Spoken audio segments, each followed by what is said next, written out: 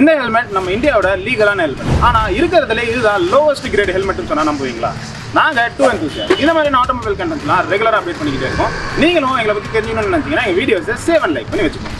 முக்கியமா ஒரு நாலு ஹெல்மெட்டோட சர்டிஃபிகேஷன்ஸ்னு பார்த்தா ஒன்று ஸ்னெல் இன்னொன்று டாட் அப்புறம் இன்னொன்று இசி அப்புறமா ஐஎஸ்ஐ இந்த நாலுமே பார்த்தா நம்ம இந்தியாவில் பரவாயில்ல யூஸ் பண்ணிக்கிட்டே இருக்கும். ஆனால் இந்தியாவிலே ஒரே ஒரு சர்டிஃபிகேஷன் மட்டும்தான் லீகல் அதுதான் நம்ம இந்தியாவோட ஐஎஸ்ஐ சர்டிஃபிகேஷன் இப்போ இந்த நாலுமே பார்த்தீங்கன்னா கிட்டத்தட்ட ஒரு ஒரு டைப் ஆஃப் ஸ்டாண்டர்ட் இப்போ ஸ்னெல்லுன்றது நம்ம ஹையா ரேஸில் யூஸ் பண்ணக்கூடிய ஹெல்மெட்ஸோட ஒரு டைப் ஆஃப் கிரேட் இந்த கிரேட்ல பார்த்தீங்கன்னா டெஸ்டிங்ஸ் எல்லாம் ரொம்பவே பயங்கரமாக இருக்கும். எல்லா டைப் ஆஃப் டெஸ்ட்டுமே அதில் இருக்கும். அதில் ஏரோடைனமிக்ஸ் டெஸ்ட்டாக இருக்கட்டும் இல்லை பிரேக் டெஸ்ட்டாக இருக்கட்டும் டிஃப்ரெண்ட் டைப்ஸ் ஆஃப் டெஸ்ட் அந்த ஹெல்மெட் மேலே நடத்துவாங்க. சரி இது வந்து நம்ம ஸ்னெல் டைப் அடுத்து டாட் அப்படின்னு போயிட்டா ஆல்மோஸ்ட் சேம் தான் ஆனால் அந்த டாட்டில் மட்டும் எப்படின்னா நம்ம டெய்லி யூஸ் பண்ணக்கூடிய ஹெல்மெட்ஸாக மேனுஃபேக்சர் பண்ணுவோம்.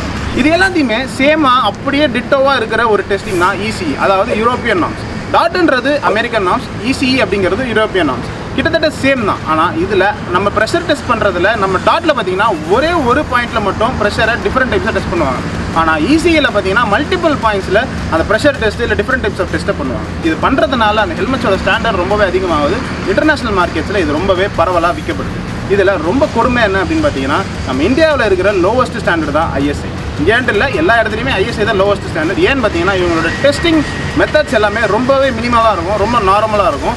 இவ்வளோ ஹை டியூரபிலிட்டி டெஸ்ட் எல்லாமே அந்த டைப் ஆஃப் ஹெல்மெட்ஸில் நடத்தப்படாது. ஆனால் கொடுமையான விஷயம் ஒன்றே ஒன்று என்னென்னு பார்த்தீங்கன்னா இந்தியாவை பொறுத்த வரைக்கும் அந்த ஐஎஸ்ஐ ஹெல்மெட்ஸ் மட்டும்தான் லீகல் மீது இருக்கிற எல்லா சர்டிஃபைட் ஹெல்மெட்ஸுமே இல்லீகல் தான். இந்த மாதிரியான ஆட்டோமொபைல் கண்டென்ட்ஸ்லாம் நீங்களும் தெரிஞ்சுக்கணும். அப்டேட் இருக்கணும்னு நினச்சிங்கன்னா எங்கள் வீடியோஸை லைக் பண்ணி எங்கள் பேஜஸை ஃபாலோ பண்ணி எங்கள் சேனல்ஸை சப்ஸ்கிரைப் பண்ணிக்கிட்டீங்கன்னா நீங்கள் ஒரு வாட்டி ஃபோனை திறக்கும் போது நாங்கள் உங்களை அன்புடன் வரேன்